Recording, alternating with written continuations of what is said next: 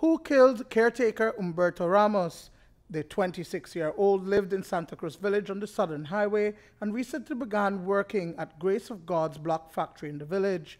But on Thursday morning, the Guatemalan national was found dead with large chop wounds to the head. He had been murdered inside this wooden shed on the company's property, where he has been staying for the past two months. His body was discovered in a bed by co-workers when they arrived at work around 7 a.m. that morning. When the morning when you come in for work, no, we look for a man, but when you find a man, man dead in there, no. So we don't know exactly what happened. He's a straight man, no, you know, no problem, nothing. Just work, work every day, no. So we don't know exactly what, what's going on, no. Tell me what you say when you gone inside. Well, we just find the man dead in a bed, no. So I'll chop up, no.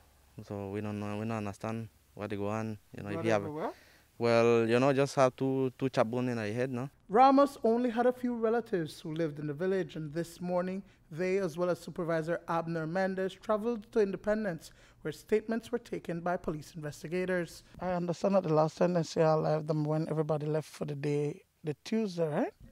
Yeah, something like that. Yeah, I think everybody just left, uh, go home, no. Like everybody stopped work five o'clock. After that, you know, we never see the man until next morning when we find him dead, no. Well, he had been a couple of months, not I don't know exactly the the amount of time, right? But I know a couple of months, so we know the man couple couple days already. You know, he's a straight man, no. And he lives here on the property? He stay here on the property, yeah. He just stay here and sleep, you know, because uh, he normally just um, renting at the village. So instead of rent, no, he just stay there and you know sleep there, no pay no rent, nothing, just stay there, no. There were no signs of forced entry into the shed, and it is believed that he knew his machete-wielding killer. Did he ever complain to anybody about, you know what, maybe somebody may threaten his life or anything like that? No, no. So far, we no, we never heard nothing. You know, he like I tell you, he just come work. You know, go inside, sleep, eat. You know, and just you know, no, we don't see the man around, no drinking, nothing. So we know, we really don't understand the situation really going on right there. No. Duane Moody for News 5.